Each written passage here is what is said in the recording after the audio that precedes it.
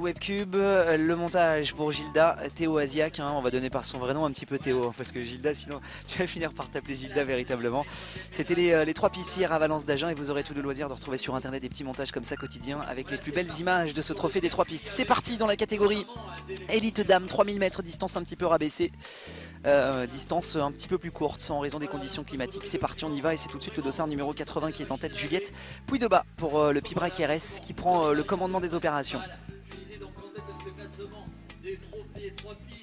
Carolina Upegui Guevedo. Ah, c'est une personne euh, voilà, qui, est vue, euh, qui est championne du monde sur route 2012 pour retenir que les meilleurs sont pas Allez, toujours le dossard numéro 80 qui est en tête pour le moment. Euh, Juliette Pouydeba avec le dossard numéro 80. Sabine, je vous l'ai dit, cette, cette jeune personne, une ancienne championne un petit rappel euh, du classement général pour le moment provisoire avec Carolina Oupegui, la colombienne championne du monde du 20 km en tête, Sabine Berg l'allemande en deuxième position, Cindy Cortez en troisième position. C'est Déborah Marchand la française qui signe la première place tricolore. Quatrième au pied du podium pour le moment, Marie Poitvin. Cinquième, Sheila Herrera Posada Guerra en sixième position, Clémence Albou septième, Aurélie Duchemin huitième, Juliette Pouydeba qui est en tête euh, pour le moment et 9ème. Et puis 10ème, Andrea Cana qui nous vient du club portugais Clube de dos Prazeres.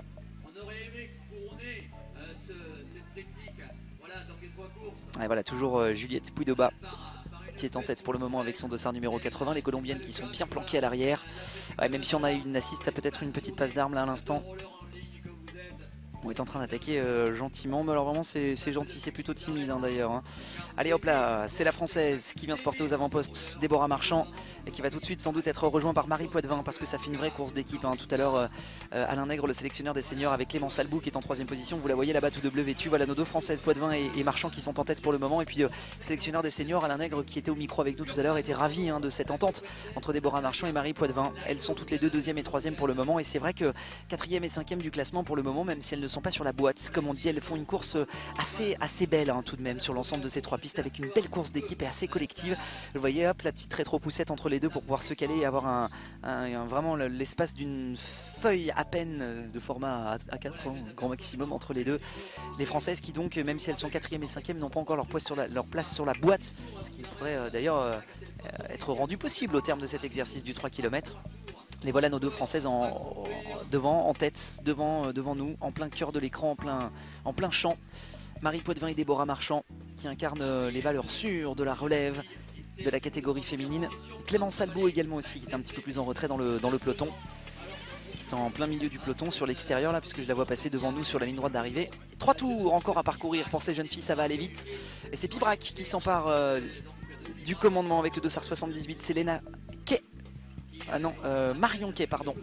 Je me suis trompé d'une petite ligne. Marion Quay qui est en tête euh, pour euh, le moment et qui se fait déborder à l'extérieur par une patineuse espagnole qui emmène dans sa roue et dans son sillage. Voilà, et on est en train de s'accrocher les hanches hein, chez les filles. On n'arrête pas depuis tout à l'heure de distribuer des claques et des mains. On n'a pas envie de laisser sa place. On est en train de se, ceinturer pour laisser un minimum d'espace aux concurrentes pour pouvoir rentrer. Ça y est, ça commence vraiment à être électrique parce que c'est la dernière course du week-end et qu'on est en train de jouer le classement général.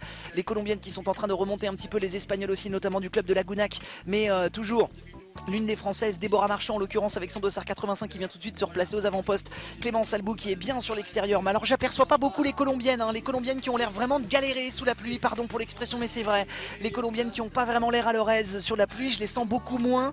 Euh, allez hop là Un petit coup de main aussi qui va bien pour euh, éviter à Déborah Marchand de ne trop ceinturer son adversaire de derrière. Nicole Berg, le dossard numéro 53 qui ce matin a vraiment fait un, gros carton avec une accélération de tous les diables euh, ce matin. Et là en plein cœur du potion avec son dossard numéro 53. Elle est tout de violet Mais ce que je ne vois pas trop, moi, ce sont bah, euh, bah, les colombiennes qui ont l'air un peu cachées dans le peloton. Je les vois pas beaucoup. Ah si, je la vois un petit peu là. Elle est juste derrière avec le dossard numéro 61 sur l'intérieur de votre écran. Mais ça a pas l'air brillant brillant pour les colombiennes. Je les sens pas euh, hyper à l'aise hein, les colombiennes. Et on se souvient que ce matin Sabine Berg sous la pluie avait fait un carton avec une attaque absolument tonitruante. Clément Salboul de numéro 57 en plein cœur de votre écran et là à l'amorce de la dernière courbe et de la dernière ligne droite avec la cloche qui va retentir. On a le sprint qui va sans doute être lancé dans un instant puisqu'il n'y aura que 500 mètres simplement. C'est l'Espagne qui a décidé de prendre les choses en main l'Espagne qui est en tête pour le moment avec euh, le dossard numéro 11 pour le moment. Je ne vois pas les leaders pour l'instant du classement qui ont réussi à sortir et à s'extirper de ce peloton et notamment Panneau Française pour le moment. On reprend l'image et on reprend le champ. Déborah Marchand et euh, Marie Poitvin sont un peu trop au cœur du peloton. C'est Nicole Berg qui est en train de partir à l'extérieur. Nicole Berg qui comme ce matin est en train de faire un, gros coup. Elle est suivie euh, par le dossard numéro 61. C'est qui? C'est la Colombienne qui tout de suite a réussi à prendre sa roue. La championne du monde du 20 km qu'on n'avait pas vu pendant toute la course a réussi tout de suite à prendre Nicole Berg. Elle le savait. Voilà donc l'Allemagne et la Colombie pour la troisième place. C'est peut-être le dossard numéro 80. Juliette Pouille-de-Bois pour le Pibra Club qui va réussir à peut-être revenir sur la colombienne. La française Pouille-de-Bois Juliette qui est en train de revenir, mais Nicole est en train de faire un effort absolument euh, formidable. Le dossard numéro 53, l'allemande en tête. Allemagne, Colombie, puis France pour la troisième place. Est-ce que la France sera pour la troisième France? Juliette Pouille-de-Bois qui est en train de réaliser peut-être un exploit, va se faire déboîter par euh, l'intérieur et par le Venezuela. Le lancer de patin pour la troisième place avec sans doute la victoire de Nicole Berg derrière Sabine Berg pardon. Euh, Sabine Berg en première position. Ouais c'est ça Carolina Oupédier Juliette puis de bas bravo. Dossard numéro 80 qui arrive à se glisser devant Cindy Cortez pourtant troisième du général devant Iglesias Nuno également aussi Marie Poitvin sixième. Hein, c'est un petit peu juste pour figurer sur la boîte. Clémence Albou 8 euh, Déborah Marchand 9ème mais bien bien quelle belle performance de Marie euh, de pardon Juliette Pouille de bas pour le club de Pibrac